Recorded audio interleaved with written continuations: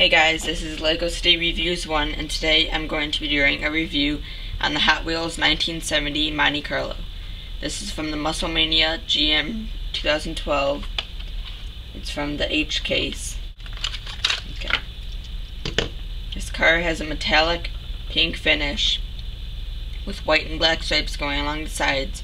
It has chrome five-spoke wheels, gray interior, clear windows, on the front, it has a chrome grille with black and white stripes going along the along the hood.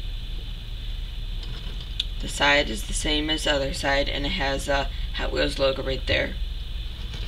On the back, it doesn't have any paint decos and it has a chrome bumper.